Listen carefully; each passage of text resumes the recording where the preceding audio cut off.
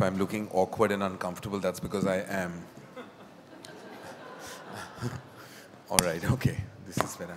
Are you better off than I am? well, of course you are. Uh, FICCI has always been, has been home ground for me. Uh, ever since my father was such a strong member of FICCI and then of course after Mr. Yash Chopra, you know, initiated me into the world of FICCI, it's been a glorious journey. Uh, always have met so many interesting people, imbibed so many interesting ideas, and of course the possibilities uh, that FICCI opens up have been endless. Uh, it's been a tremendous journey and today seems even more special with the theme of uh, FICCI being so relevant to do with the digital age that is going to storm in our lives and stay. And of course, we have such prolific members on our panel. And uh, thank you, ma'am. Thank you. I have to graciously thank the Honorable Minister, Smriti Irani for her prolific presence here. It really makes a big difference when we have someone at the center uh, really deal with our woes and, uh, and someone who's been a part of our journey and our fraternity. It feels heartening. Let me open by saying it feels heartening to have someone at you at the center uh, to really look at our causes and our woes. And I know we cry a lot about many things. Uh, no, no, uh, I think but just been very eloquently addressed by Sid as a pack of wolves. Yes. So, and I think only a filmmaker can do that. Well, I, well I, I, do believe that we have the qualities of a wolf, but you have to open us into the jungle of media and entertainment. Uh, like Sid rightfully pointed out, that, that we, will, we will let the ecosystem of our fraternity thrive gloriously if you allow us to do so. Uh, of course, Sid also projected a half-glass, half-empty phenomena about things that are and things that can be. Um, I have to say that, you know, um, ever since ever since you've been the, at the fore of things, uh, definitely we have definitely try to project the media and entertainment industry and put it on a global map. I think starting with what you did with IFFI uh, in December, in November was absolutely amazing. I think just being a forerunner um, as a film festival and being at the core of things and putting us on the global map in that respect was a tremendous success. And of course, are we looking for an encore in the 50th year in 2018? Absolutely. I think that uh, today's uh, core idea of deliberation is in itself an opportunity to look at where the pack of wolves can head. Okay. Uh, the fact that, yes, we are looking at firing up our ecosystem. Um, Rashesh was telling me that can we look at a certain number of people that we employ every year because of the industry. The challenge I see is that definitions by various entities that look into the business of content making or film making, they vary from one um, firm to another.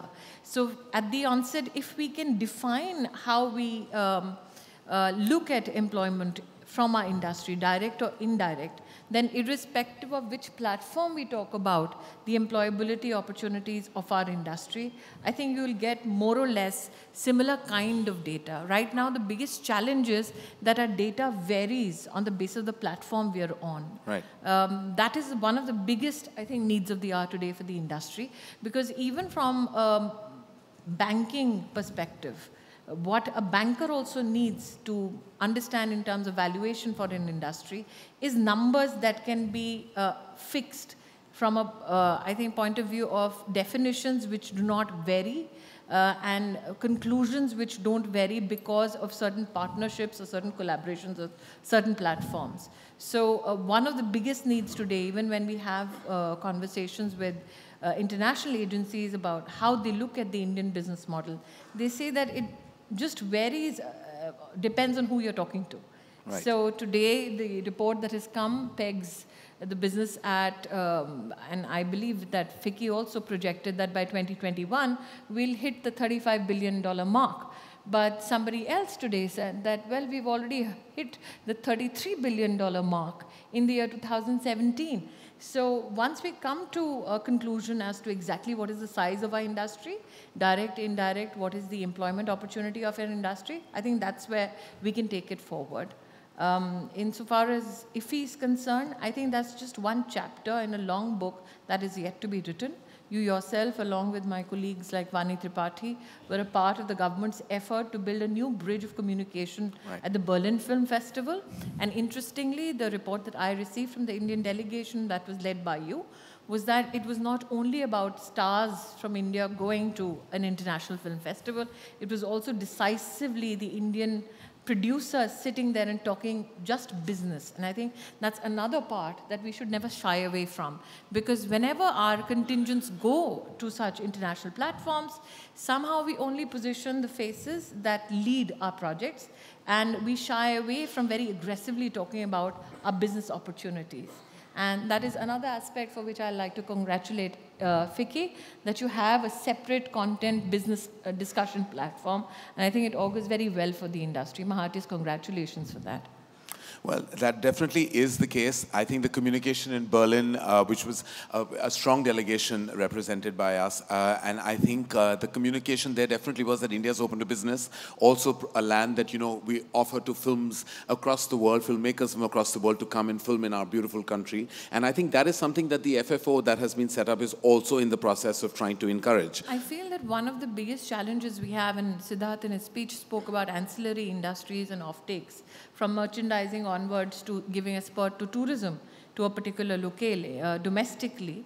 Um, one recognizes that a lot has to be done in terms of industry coming together and highlighting or bringing to the attention of the government specific locations from a production point of view, which are easier to approach, go to, from a cinematography point of view, which are beautiful when shot, and when you come to these locations, then it also becomes a very, very uh, important uh, parameter on the basis of which we can in invite international productions to come and shoot more right. in India. Currently, we basically depend on our old locales that we have exploited for years on end. But I think the, uh, the question that we need to ask ourselves with that the government giving such a huge thrust to expanding our tourism network can we find those new locations apart from the traditional locations that we've been leveraging? Uh, not only for the international community to come and shoot in India, but also for the domestic uh, filmmaking market to go there and you know exploit new opportunities. Well, everyone was very excited about the possibilities of co-productions, collaborations, and also to, uh, for filmmakers to come and film. Some did have some apprehension about um, you know permissions, etc., logistics. You know, which I definitely think that the FFO is working towards strengthening and ensuring that there is facilitation offered on all those accounts as well. Uh, what would you have to say about that? We've seen that in government till now there are certain aspects of uh, organizations that are working in silos. So be it the Director Film Festival, be it the National Film Development Corporation or the Films Division or the Children's Film Society. Now, when you work in silos, right. you basically express to the world and to your own industry that we'll view the industry as a fragmented industry, which is not the view of this government. We are hopeful that we have a committee which will bring all of these functionalities under one umbrella so that even a filmmaker with a new concept does not run from one desk to another saying, I need support to bring the story to light. We have that filmmaker coming to one desk, let's say in Delhi, Mumbai, Chennai, or Kolkata, and saying, This is what I need. We would uh, like to leverage uh, our um, technology uh, to ensure that the distance between government and that filmmaker needing assistance is lessened. And I'm hopeful that the industry representatives that we have invited to ensure that this umbrella organization is created will do so uh, in terms of the pathways that they designate for the government uh, in a given time period of two months. Well, so we are speeding up that amalgamation. That yeah. And our good friend Siddharth, uh, I'm inviting him to join that panel to give the government advice, even our stalwarts like Prasoon Joshi, to be on it. Well, I think that's exactly what my next question was, the consolidation of government entertainment bodies and yes. that coming together will definitely, Siddharth, in your opinion, do you think that will facilitate uh, a fair amount for, uh, for maybe collaborations and even filmmakers across the world uh, to reach out to us? Yes, I think so completely. Uh, a big concern that filmmakers have had over the years was the various permissions that they need to procure at various places that they go to, where one state or one a city within a state would be able to give you permission, but not another city within that state, and you'd have to go to various windows to get that clearance. So a single window shooting clearance would be tremendous. I think that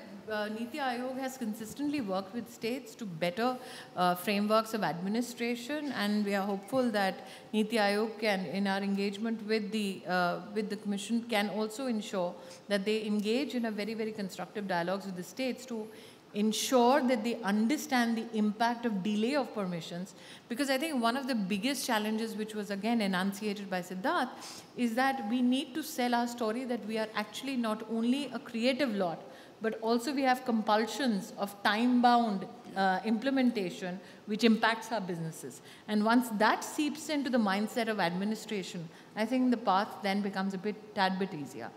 Uh, the other looming large issue that also Siddharth touched upon very uh, dramatically uh, about uh, Ch the China story and of course, you know, about how the fact that we are the, like Sanjay mentioned about the number of films that we do produce, yet our, our overall net value uh, is not as strong as possibly it should be. So now Siddharth definitely said that we're not selling our story well enough, we're not really communicating what all we can have impacted. that does come down to, when I talk about cinema, it does come down to exhibition and how that we definitely have a limited number of screens in comparison. Like, you know, for every um, like 125 kilometers, we have about eight screens. As uh, uh, well, no, that's not the right statistic. Uh, we have um, where, we have about 125 screens per million, whereas uh, the US uh, we have eight screens per million. Sorry, whereas the US has 125 screens per million, and um, multiplexes are showing a limited growth, whereas single screens have definitely depleted and, and dropped in number. How do we strengthen exhibition for us to enhance the possibilities of numbers with cinema? See, there is a dichotomy in, in, the question and the angst that you have expressed yourself. I think the answer lies in what Sanjay said. The answer lies in digital India. The answer lies in personalizing that experience for the viewer when it comes to content, not only creation, but also exhibition of content. We look at um, the expanse of our exhibition capacity only from a perspective of um, let's say, multiplexes. But when you look at it from a consumer's point of view, what is the affordability of that entertainment? That is what the consumer talks about the most. And digital content then, access uh, to content through digital means, then becomes affordable because of falling data prices. So uh, today, if I say I want to enhance the consumer experience and not at a huge cost to the consumer, one of the things that we have never done possibly in the industry is actually sit with mobile manufacturers and tell them how to enhance the audio or video experience of a consumer only from a content perspective. So I think that is another issue uh, which uh, there should be deliberation upon because um, mobile manufacturers themselves are aware that the better the screen experience uh, for the consumer, the more takers for that product. Uh, they are products which are made in India, there are products which are cheaper compared to, let's say, some fancy smartphones. The consumption uh, and the desire to have a smartphone in India is growing manifold, as has been articulated by Sanjay. The idea is which part of the journey do we want to be a part of? We can't say we'll only be limited to content creation. We have to be a part of even enhancing that consumer experience on a small screen because there will come a time that if the consumer personalized experience is not enhanced, that consumer will get fed up of that content and say, you, one will feel that it's a ricochet effect on the content, but it's not. It's more about the device which does not satisfy the consumer. So how many of us have gotten into that conversation is an idea that I'd like to throw today to the panel. Um, and this China story is constantly actually thrown at us in terms of a comparison. Uh, is there something that they're doing right and we're not? I think that, um, you know, Siddharth has looked at the glass half full, but then he's a producer. Hmm. He's supposed to always look at it half full. Hmm. And I, uh, I'm looking at it as not from a vessel point of view. I'm looking at it uh, from a point of view of we always position ourselves in comparison to somebody else. But we never define our own strengths and then position ourselves absolutely different from something which is already happening in the business. And that is why we are always playing catch up. So we need to, as an industry, and I say we as an industry because it's uh, quite prophetic that I sit on a platform again of Star, which is actually a television uh, channel, which is sponsoring a movie event. So, will we be happy playing catch up for the rest of our lives? Or do we decide as an industry, no, we define our industry on our terms in a new fashion altogether? Because I think gone are the days where every Indian would say, Hanji, humko LA jana hai. And there is a lot of pride about the fact that yes, we are creating 60,000 hours of content, but we are creating that content very unique to us. And the other part of our strength is that we are one of the largest consumer bases in the world. Do we ever leverage that strength? Right. We always talk about हमने इतना content बनाया है. We need to tell the world that yes, everybody wants to go to China, and that's always good for business. But look at us. We are the biggest consumers in the world today. And what do you give us in terms of content on our terms? That is, some, that is a part of the conversation also that I like to be fueled in this very particular platform. Right, no, of course, very well said. And as I said right at the top of this conversation, that you've definitely been championing our woes, even at a legislative level. And um, do you reckon that there's still a long road ahead? And what changes and initiatives do you think we can expect in the year 2018? Um, one, the amalgamation and the creation of one umbrella organization. The other is when you look at content creation and when you look at the academic side of the industry, many people feel that you go to an institute of mass communication and you're done. You get that degree and then you come in. Or you go to an animation school, then you get that degree and you come in. That is not how creativity can be expanded. Creativity is best when it's multidisciplinary. Right. And do we peg that to our student community? Do we tell them that it's okay to take technology, music, maths, and philosophy and still be a filmmaker? Right. So that is another aspect that I'm looking at this year, where the Indian Institute of Mass Communication, we are hoping, uh, becomes a deemed to be university, and then as a university creates an academic ecosystem where on its own it gives its students an opportunity to study every kind of subject so that the creative instinct of that student is not inclined to just one subject but actually enhances. The third thing that I'm extremely excited about is the Prime Minister's clarion call for not only digital India but also infusing artificial intelligence into our everyday life. And I was speaking to some of my colleagues and I said that not many people possibly in India understand how artificial intelligence in filmmaking possibly can enhance your consumer experience. Are we talking enough about that? Uh, we look at technology uh, as an enabler, but have we ever looked at it from a creative point of view in terms of new sounds, new experiences? And I think that's another part of the future that I'm very excited about. When Siddharth spoke about data analytics for better right. management, can we use data analytics to understand the needs of our consumers? because it tells us what are they consuming and it with what kind of speed, uh, what are they binging on in terms of viewership. And that is another aspect uh, which I think we can leverage very well. It might seem intrusive to a few people that now as a consumer you'd want to use data analytics to understand what my needs are. But I think with a growing, expanding market, that data analytics then helps you create more of that kind of content, and the viewer then has access to that kind of content. The minute they want to switch, voila, we have another kind of, uh, you know, taste that we can develop for the consumer. And those are the aspects um, that I think that we can all look forward to. Well, I have an interesting uh, question, just because you've been an insider as well, and I, you know that we've been, of course, um, known for always coming with our, our woes, our troubles, our problems, you know, at the government level to have make sure that things are sorted in the, in the media and entertainment industry. But because you've been an insider, I would like to ask you that do you think that there are changes we need to make within? What those changes we are? We need to stop saying that we have woes. Because we are not bechara. We, we have an economic No, we like to project that sometimes to get our job done. 1 lakh 30,000 crores in this economy and we need to be very, very proud about it. How many times do we say it as an industry outside? I represent even the textiles industry.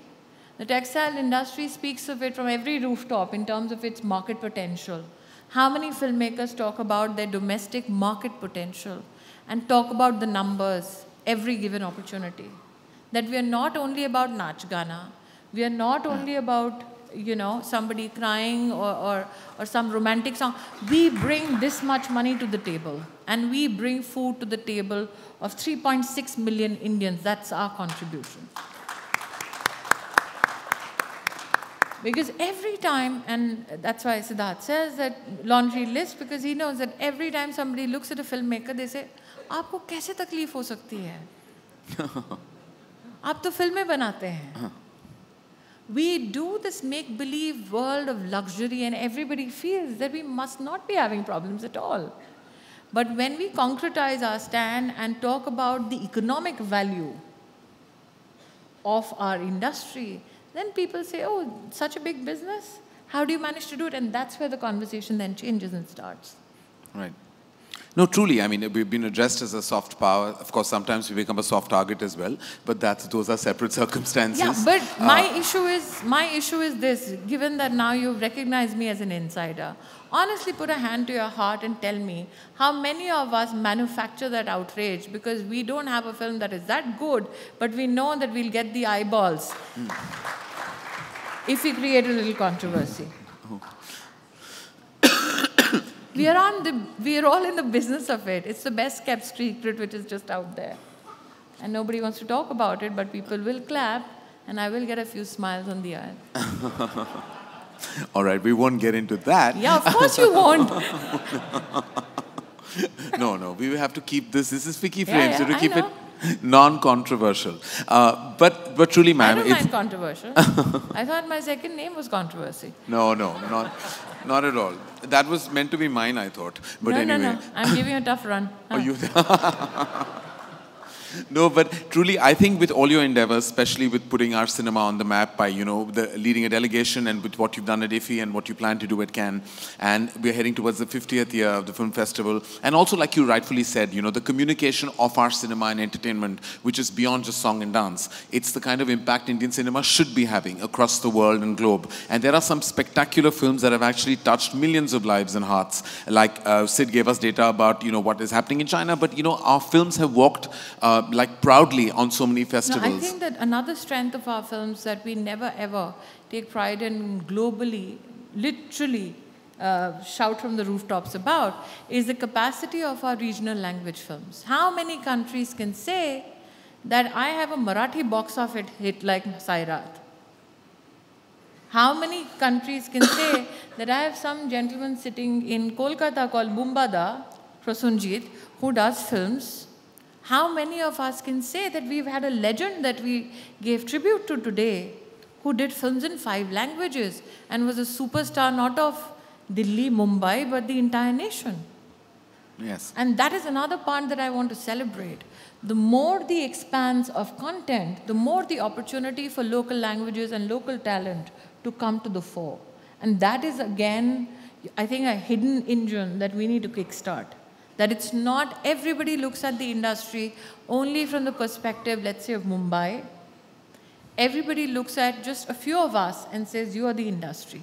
The beauty and the strength of the industry is that we are as much in Chennai, in Hyderabad, we are as much in Pune, we are as much as in Kolkata, in Odisha, and we are also there in Nagaland. Right. That's our beauty.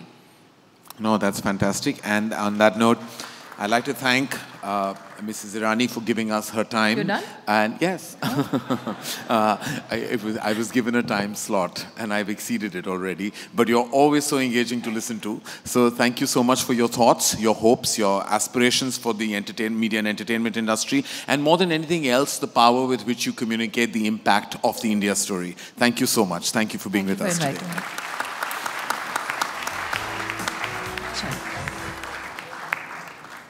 That was a highly engaging and truly uplifting interaction, and I'm sure you all will agree with me. Thank you so very much for that.